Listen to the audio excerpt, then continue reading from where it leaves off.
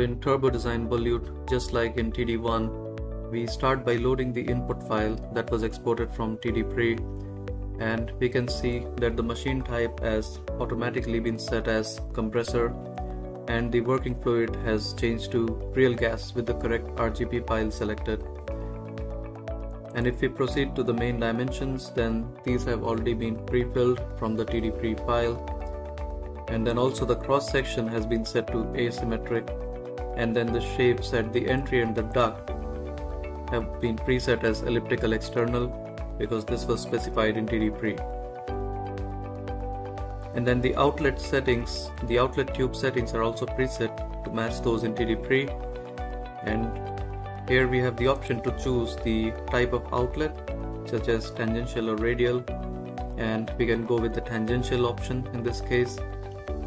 and then finally, the most important part is the inlet boundary conditions,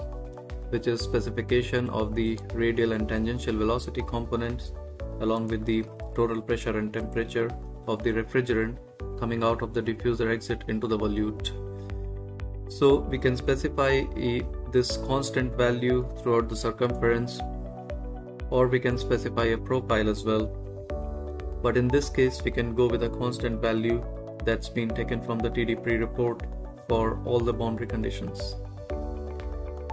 So next we can run the calculation which runs a 2D inverse design code to give us the optimum area distribution for the given volute inlet flow profile and then in the post tab we have a 3D view of the volute that we generated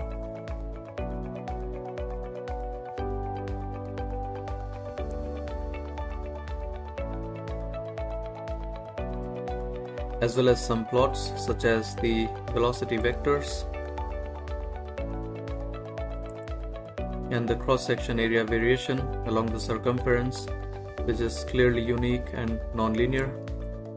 and finally there are also some useful performance parameters of interest such as the total pressure loss estimate and other geometry parameters as well. And once we have the volute design, it's possible to then directly export a solid IGS model of the same for a staged CFD analysis with the impeller.